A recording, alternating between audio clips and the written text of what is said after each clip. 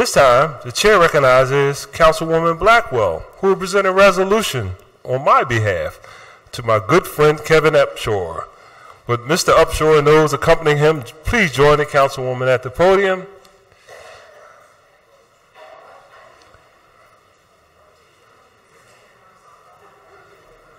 Always humble, I love it. Thank you for the honor, Mr. President. Thank you, Councilwoman.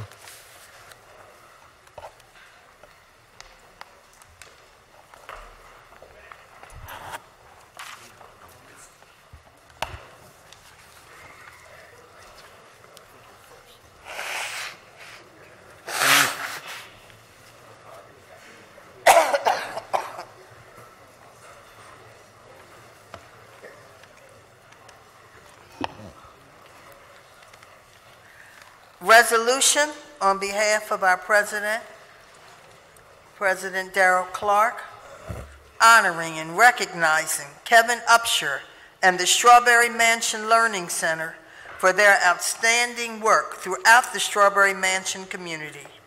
Whereas Kevin Upshur is a graduate of Strawberry Mansion High School and attended Cheyney University. All right.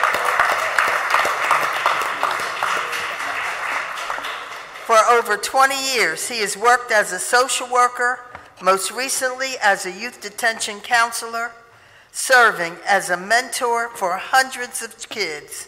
And whereas in 2008, Kevin founded the Strawberry Mansion Learning Center, where he transformed his mother's local bar into an education and resource center with after school and mentoring programs for the youth of Strawberry Mansion and Wow. Whereas his work at the center has been a guide, guided by his words of his late mother, Shirley, who died in 2006, urging Kevin to give back to the community to help curb the violence by creating a place where young people could learn. My mother is the motivation for this. He told the Daily News during an interview in 2013, and whereas Strawberry Mansion Learning Center has become a safe haven for kids in the neighborhood by providing access to computers, libraries, healthy meals, trips for students, by providing a productive outlet for Philadelphia youth.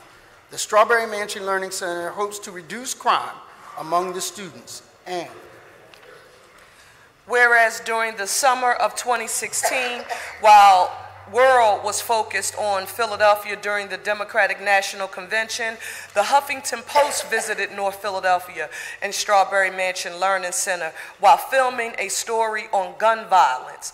This placed a national spotlight on the center for its positive work in a challenging environment. And whereas in August of 2016, a GoFundMe page was created to raise money for the center's kitchen and bathroom renovation project. Because of the initial video posted by the Huffington Post, GoFundMe decided to spotlight the center's mission and donated the first $2,000 in the fundraising campaign. And Whereas, because of Kevin's great work, NBC News anchor Lester Holt visited the center to highlight the work in the community in a story that aired nationally. Almost overnight, GoFundMe donations began pouring in from people across the country. And whereas Kevin has also been featured on The Rachael Ray Show, where he was presented with a $25,000 donation from Philadelphia based Beneficial Bank. Now therefore be it resolved that the Council of the City of Philadelphia hereby honors and recognizes Kevin Upshur and the Strawberry Mansion Learning Center for their outstanding work throughout the Strawberry Mansion community. Be it further resolved that an engrossed copy be presented to Kevin Upshur as evidence of the true and sincere sentiments of this legislative body. And this was introduced and sponsored by the president. I'm happy to join him, and we're happy that all members are pleased to be a part of it. Thank you.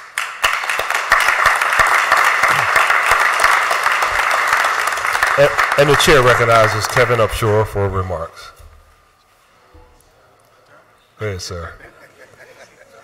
Uh, I'm just very honored to be here. Um, it's, it's really emotional for me because my mother asked me, she said, You got to do something. And I didn't know exactly what to do because I was already working with young people uh, over 20 years in the youth detention uh, at the Youth Study Center. So uh, as time went on, we, we transformed the bar because we had a building to work with. So we put books in the building. I said, let's open up a bookstore. People were saying, you're crazy. Open up a bookstore at 30th and Dolphin, nothing's going to happen, you know. But really, it wasn't about money.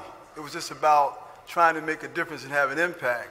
And, you know, everybody in this room, I look around, has, has been an influence and an encouragement. Uh, Councilwoman Jannie Blackwell, who uh, given us uh, Lucien Blackwell Humanitarian Award, it touched me really deeply because I said, if I can get something in honor of her husband, that means I must be doing the right thing. And, you know, I really appreciate that. And uh, I think about my mom all the time because that's the, that, that was, you know, we, we listen to our parents, they tell you things that will help you to go the extra mile. So what my mom told me, uh, I think about it, I said, wow, she really told me to do the right thing, and I followed it up. And, uh, and we're doing good things, and we're having an impact. And I'd like to thank Councilman Clarke, President Clarke, and his staff. Uh, they're always there to help. Uh, Councilman Clarke stops by. Sometimes I think he has a key. I mean, he just pops up.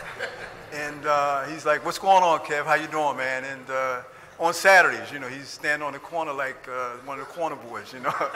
so everybody in this room, I just want you to know I appreciate being here. It's an honor. And as I look around and see all the council people who uh, you don't know, you encourage me. When I even turn on the television and see meetings, council meetings, I'm encouraged. I'm watching it, you know, I'm saying, wow, people are making a difference. So thank you so much and appreciate your time.